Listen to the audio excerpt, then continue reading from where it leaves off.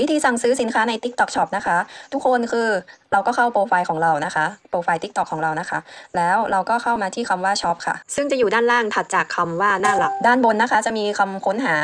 เราก็กดนะคะ ตรงช่องว่าง แล้วก็พิมพ์คำว่าเครื่องถอนขนรักแร้ไฟฟ้านะคะ อันนี้รถพิมพ์เสิร์ชหาไปก่อนหน้านั้น เขาก็ยังค้างอยู่รถก็จะกดเลยนะคะ กดที่มันโชว์ขึ้นมา แล้วเขาก็จะอ่าโชว์แบบนี้นะคะ รถก็เข้ามาดูแล้วแหละ แล้วรถก็สนใจอยู่ตัวหนึ่ง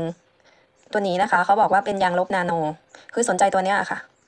อยากลองแล้วก็อยากเอามารีวิวด้วย อันนี้ก็น่าสนใจไอตัวเล็กๆเนี่ยห้าสิบเก้าบาท คือรถเคยใช้ไอเจ็ดร้อยสิบพวกนี้สองร้อยหกสิบเนี่ยเคยใช้แล้วนะคะ แล้วก็ทำหายไปละแล้วมันใหญ่เนาะ อยากได้อะไรที่มันมินิหน่อยนะ อันนี้ก็จะดูใหญ่อยู่นะไอที่ยางลบนาโนเนี่ย แต่ว่ารถอยากลองดู เออเขาบอกว่าขัดผิวไปด้วยเงี้ย เออ ก็เลย อืม ลองดีกว่าอะกด กดที่ตัวรูปภาพสินค้านะคะ เนี่ย กดเลยนะคะ ตรงรูปภาพสินค้า แล้วก็จะขึ้นมาแบบนี้นะคะ ก็เลื่อนดู อ่า เดี๋ยวราจะเลือกสีน้ำเงิน สีฟ้าเนี่ยแหละค่ะ ฟ้าอ่อนนะคะ แล้วก็กดสั่งซื้อตอนนี้ ถ้ากดกดเลือกสีเสร็จมันจะมีกรอบสีแดงขึ้นตรงสินค้านะคะ แล้วเราก็มากดที่ซื้อตอนนี้ ปุ่มสีแดงด้านขวามือล่าง แล้วนะคะ ใครที่ยังไม่ได้ใส่ที่อยู่เขาก็จะให้ใส่ที่อยู่ อันนี้ลดใส่ที่อยู่ไปแล้วนะคะ มันจะโชว์ด้านบนเนาะะก็จะเขาบอกว่านะคะ มาด้านล่างเนาะ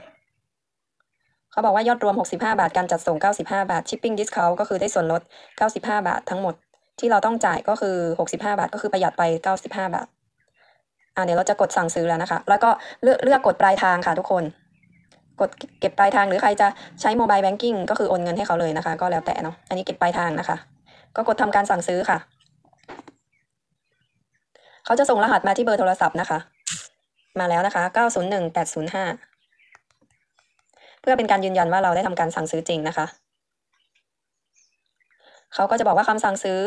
เรียบร้อยนะคะ ก็สามารถเปลี่ยนที่อยู่ได้ดูคำสั่งซื้อได้นะคะ เดี๋ยวกดดูคำสั่งซื้อ ก็คือเป็นข้อมูลที่เราได้สั่งซื้อไปนั่นเองนะคะ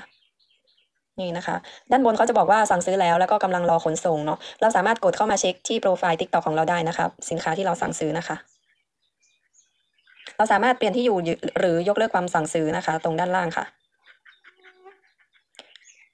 ก็จะมีรายละเอียดคำสั่งซื้ออะไรให้เราได้ดูนะคะ แล้วก็สามารถติดต่อกับผู้ขาย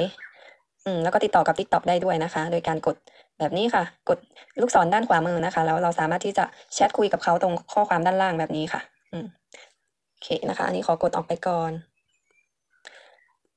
อ่าสมมุติว่าเราเราจะกลับไปที่โปรไฟล์ของโรสนะคะ โปรไฟล์ตรงนี้เนาะแล้วเราอยากจะเช็คสินค้าที่เราสั่งซื้อให้กดที่ shop shop นะคะ shop เนาะด้านล่างเนาะที่เป็นรูปตะกร้านะคะ แล้วก็มาดูที่คำสั่งซื้อค่ะนี่นะคะก็จะมีว่าเราอะเคยสั่งซื้ออะไรไปบ้างนะคะ ด้านล่างสุดแล้วก็ ไอที่โชว์ล่าสุดก็คือเพิ่งสั่งซื้อไปเมื่อกี้นะคะ อุปกรณ์กำจัดขนค่ะ แล้วถ้าได้สินค้าแล้วเดี๋ยวเราจะมารีวิวให้ดูนะคะ ว่าเป็นยังไงบ้างค่ะ ขอบคุณที่เข้ามาชมนะคะ หวังว่าคลิปนี้จะมีประโยชน์ ช่วยกดไลค์ กดแชร์ กดติดตาม และกดกระดิ่งเป็นกำลังใจให้ช่องโรสทิยาดาด้วยนะคะ ขอบคุณค่ะ